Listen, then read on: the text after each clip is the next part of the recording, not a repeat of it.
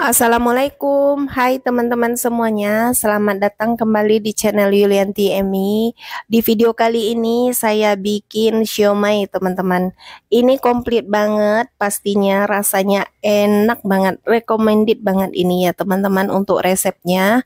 Mau tahu cara bikinnya dan apa aja bahannya Yuk simak videonya sampai selesai ya. Bagi teman-teman yang belum subscribe Jangan lupa bantu supportnya ya. Subscribe, like, komen dan bagi yang sudah saya ucapkan terima kasih banyak ya. Nah, pertama di sini teman-teman, saya haluskan dulu untuk bumbunya. Di sini bawang merah dan bawang putih ya. Bawang merah saya blender ya, teman-teman. Untuk bawang merahnya 4 siung dan bawang putihnya 3 siung ya. Saya tambahkan juga dengan sedikit air supaya lebih mudah untuk menghaluskannya ya. Nah, ini bumbu sudah halus ya, teman-teman. Selanjutnya di sini saya menggunakan ikan tenggiri ya, teman-teman. Ini saya chopper sendiri tadi ya. Daging ikan tenggiri sebanyak 500 gram ya teman-teman. Nah, supaya tidak amis ini saya tambahkan di sini perasan air jeruk nipis ya, teman-teman. Ini jeruk nipis saya gunakan dua buah, ini dengan ukuran kecil aja ya, teman-teman. Saya peras airnya. Uh, ini saya saring ya supaya bijinya tidak uh, nempel ya di daging ikan tenggirinya. Nah, ini sudah selesai, kemudian saya aduk ya, teman-teman uh, daging uh, ikannya supaya tercampur merata ya. Nah, ini sudah tercampur merata. Selanjutnya saya diamkan dulu, teman-teman. Nah, sambil menunggu di sini saya mau tumis dulu untuk bumbu halusnya ya, teman-teman. Ini saya tumis bawang merah dan bawang putih. Saya tumis supaya uh, ini lebih wangi ya, teman-teman. Nanti untuk bumbunya nanti siomaynya ini lebih wangi dan pastinya enak banget ya teman-teman. Nah ini saya tumis sampai wangi bumbunya. Nah setelah wangi ini saya tambahkan dengan irisan daun bawang ya. Kemudian ini saya tumisnya asal layu aja nggak terlalu lama ya teman-teman. Nah seperti ini sudah cukup Selanjutnya di sini saya siapkan satu wadah. Lalu ini saya tuang ya daging ikan tenggirinya teman-teman. Ini tadi saya choppernya uh, sekalian dengan uh, kulitnya ya teman-teman. Tidak saya buang karena sayang aja sih ya. Nah ini saya tambahkan juga dengan tepung tapioka sebanyak 150 gram. Lalu ini labu siam ya teman-teman sudah saya serut uh, dan airnya sudah saya peras ya. Ini saya gunakan labu siamnya dua buah ukuran kecil atau beratnya lebih kurang 200 gram ya teman-teman dan airnya sudah saya peras ya karena kandungan air di labu siam itu lumayan banyak ya teman-teman. Nah ini saya pindahkan aja ke wadah karena wadahnya agak terlalu kecil ya. Jadi supaya lebih mudah untuk ngaduknya saya pindahkan ke wadah yang lebih besar ya. Nah ini saya masukkan juga bumbu yang sudah ditumis tadi ya teman-teman. Saya masukkan bahan lainnya satu persatu ya teman-teman Nah, di sini saya masukkan juga uh, dua butir telur. Kemudian kecap ikan ya, teman-teman, dua sendok makan. Lalu uh, satu sendok teh garam, setengah sendok teh micin. Kalau nggak suka micin boleh di skip. Kemudian satu sendok teh uh, kaldu bubuk, lada bubuk setengah sendok teh, kemudian gula pasir satu sendok teh. Ini semua bahannya diaduk sampai tercampur merata ya teman-teman. Nah ini adonannya sudah tercampur merata, saya sisihkan dulu. Di sini saya juga menggunakan pare ya teman-teman untuk bahan tambahannya. Ini opsional aja, kalau teman-teman nggak suka boleh di skip supaya mengurangi rasa pahitnya ya teman-teman. Jadi ini saya tabur dengan sedikit garam, uh, lalu saya remes-remes sedikit ya teman-teman. Pada bagian tengah bijinya sudah saya buang ya teman-teman.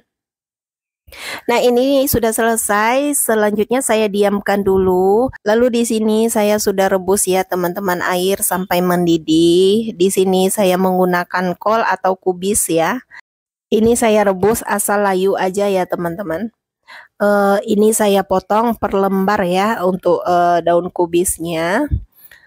Nggak terlalu lama ya teman-teman, asal layu aja. Nah ini sudah cukup, selanjutnya saya tiriskan ya. Nah, selanjutnya di sini mau proses uh, pengisiannya ya, teman-teman. Di sini saya ambil satu lembar daun kubisnya, lalu satu sendok adonan siomainya, tinggal dilipat dan digulung aja ya, teman-teman, seperti ini.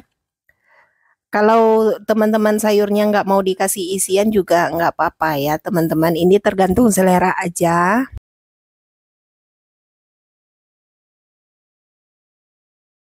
Nah, seperti ini ya.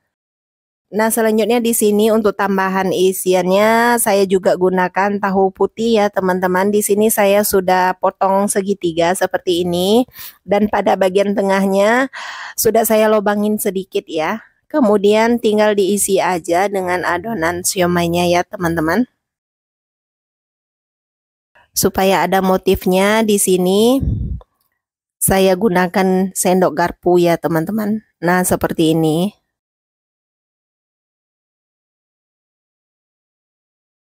Nah, di sini selanjutnya untuk pengisian parenya. Sebelumnya sudah saya bilas ya teman-teman parenya.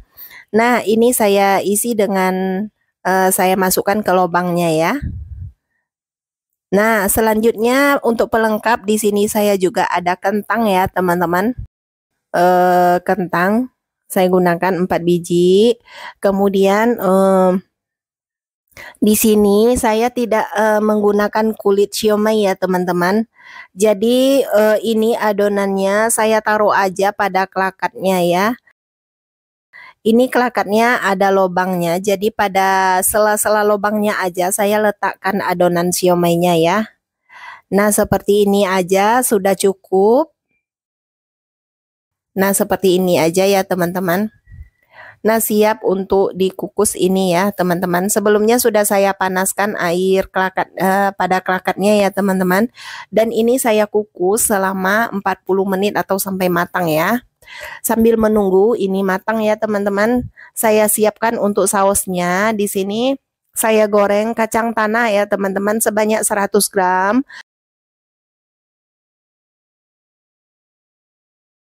Lalu saya masukkan juga ini cabai rawit 15 biji ya. Lalu bawang merah dan bawang putih kemiri ya.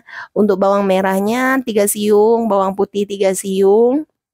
Lalu kemiri juga 3 buah ya teman-teman. Ini saya goreng sampai matang. Nah ini sudah matang, selanjutnya saya tiriskan. Semua bahannya ini mau saya blender ya teman-teman. Uh, saya tambahkan juga dengan air supaya lebih mudah untuk blendernya. Nah ini uh, bumbu kacang yang sudah saya blender ya. Saya masukkan ke wajan penggorengan tadi. Minyaknya saya kurangi ya teman-teman. Uh, tapi wajannya tidak saya cuci ya. Jadi saya gunakan wajan yang sama. Kemudian saya tambahkan juga ini dengan air ya. Air secukupnya. Ini saya kira-kira aja ya teman-teman untuk airnya. Lalu untuk bumbu saya tambahkan dengan garam 1 sendok teh, lalu kaldu 1 sendok teh, kaldu bubuk ya teman-teman. Kemudian lada bubuk setengah sendok teh, kecap manis 2 sendok makan. Lalu ini saya aduk ya teman-teman. Saya tambahkan juga dengan gula merah atau gula aren sebanyak 2 sendok makan lalu gula pasir 1 sendok makan ya teman-teman. Nah semua bahan ini diaduk sampai semuanya tercampur merata ya supaya tidak gosong diaduk terus ya teman-teman. Ini masaknya menggunakan api uh, kecil aja ya teman-teman. Boleh dikoreksi rasa kalau serasa ada yang kurang untuk bahannya tinggal ditambahin aja lagi ya Nah ini untuk sausnya sudah matang, saya sudah koreksi rasa, rasanya sudah pas ya teman-teman. Dan di sini untuk siomay-nya juga udah matang ya sepertinya. Jadi saya coba tes tusuk aja dulu ya teman-teman, ini untuk kentangnya. Nah, ini kentangnya sudah empuk ya, teman-teman. Ini semuanya sudah matang. Ini saya mau cobain ya, teman-teman, satu persatu. Ada sayurnya, lalu pare, kemudian tahu juga, kemudian saya tambahkan juga dengan kentang. Pelengkapnya ada telur ya, teman-teman, telur rebus. Nah, ini saya potong kentangnya ya, teman-teman. Lalu saya tuang dengan sausnya ya teman-teman. Ini komplit banget isiannya ya siomainya. Pastinya ini enak banget ya teman-teman. Teman-teman boleh cobain ini resepnya recommended banget ya. Terima kasih banyak sudah menyimak. Semoga bermanfaat ya. Sampai jumpa di video berikutnya. Mohon selalu dukungannya ya teman-teman. Subscribe, like, komen dan nyalakan juga lonceng notifikasinya ya agar tidak ketinggalan update video-video berikutnya ya teman-teman. Sampai jumpa di video berikutnya. Wassalamualaikum warahmatullahi wabarakatuh.